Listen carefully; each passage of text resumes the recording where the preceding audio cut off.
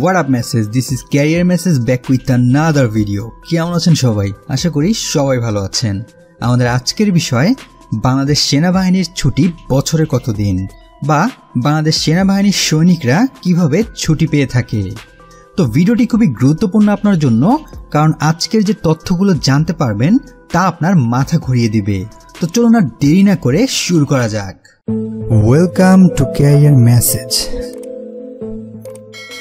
Bangladesh সেনাবাহিনীতে সাধারণত প্রাথমিকভাবে তিন মাস পর পর দশ থেকে বারো দিনের একটি ছুটি প্রদান করা হয়।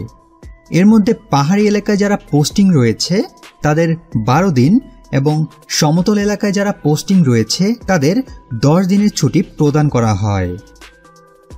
এরপর প্রতি বছর আবার দুই মাস একটানা ছুটি দেওয়া হয়, যাকে সামরিক ভাষায় পি লিভ বলা হয়।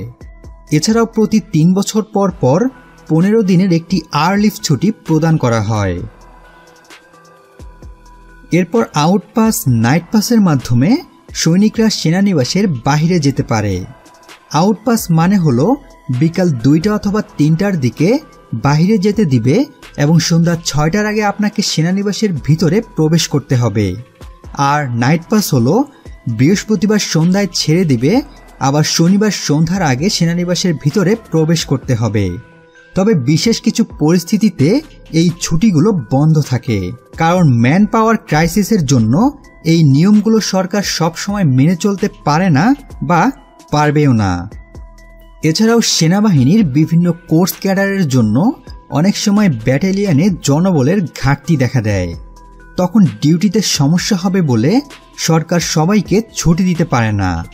তবে পাঁচ মাসের ভিতর সরকার সর্বোচ্চ চেষ্টা করে সৈনিকদের ছুটি দেওয়ার জন্য।